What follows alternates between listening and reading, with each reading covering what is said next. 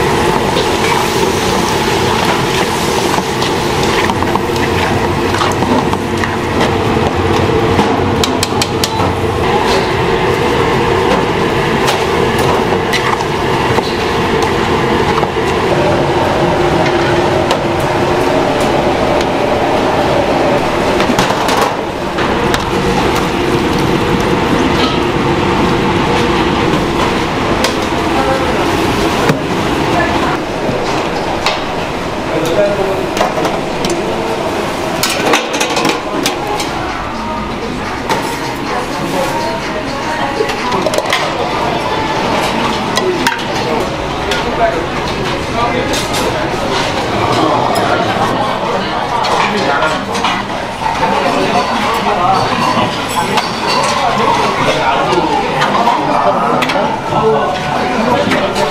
이게 조금 맛있고 너무 비쌉니다.